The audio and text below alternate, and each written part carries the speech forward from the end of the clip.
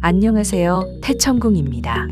일과 후 친구들과 시간을 보내보시는 건 어떨까요? 오늘은 10월 21일 금요일입니다. 오늘의 운세 시작하겠습니다. 자, 그럼 GT 가겠습니다. 48년생, 맵고 쓴소리의 부족함을 알아보자. 60년생, 남을 위한 수고의 시간을 쪼개보자. 72년생, 잘못을 잡아주는 어른이 되어보자. 84년생, 어떤 자리에도 주인공이 될 수 있다. 다음은 소띠 가보겠습니다. 49년생, 시계보다 정확히 약속을 지켜내자. 61년생, 방해나 간섭에도 뿌리를 내려보자. 73년생, 언제나 가고 싶던 소풍을 준비하자. 85년생, 힘들다 불평 없이 책임을 다해보자. 범띠 가겠습니다. 50년생, 오리가 아닌 백조 반전에 성공한다.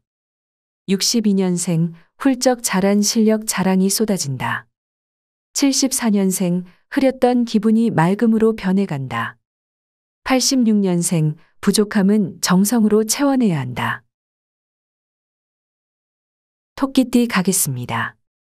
51년생, 기대는 실망으로 내일을 기약하자. 63년생, 포기하지 않는 배움을 가져보자. 75년생, 아끼지 않는 인심씨를 뿌려보자. 87년생, 배부른 고민, 웃음 끝이 길어진다. 용띠 가보겠습니다. 52년생, 도토리 키 재기, 가진 것을 지켜내자. 64년생, 어긋나는 기대의 숨을 곳을 찾아보자. 76년생, 부끄럽던 부진의 반전을 볼 수 있다. 88년생, 버리지 않은 것이 보석이 되어준다. 뱀띠 가겠습니다. 53년생, 힘든 내색 없이 어려움을 이겨내자. 65년생, 자랑은 숨기고 배움을 구해보자. 77년생, 꿈을 꾸는 듯한 행복이 함께한다. 89년생, 쉬지 않는 분주함 접수를 크게 한다. 다음은 말띠입니다. 54년생, 감격의 순간 눈시울이 붉어진다. 66년생, 머릿속 생각을 실천으로 가보자. 78년생, 초라하지 않은 인심을 보여주자. 90년생, 빛나는 자부심 어깨가 넓어진다. 양띠 가겠습니다. 55년생, 추웠던 가난 보릿고개를 넘어선다. 67년생, 웃음이 사라지는 책임이 생겨난다. 79년생, 경사 중에 경사 잔치를 가져보자. 91년생, 천금 같은 기회 날개가 달린다. 원숭이띠 가보겠습니다. 56년생, 간직하고 싶은 이성 만남이 온다.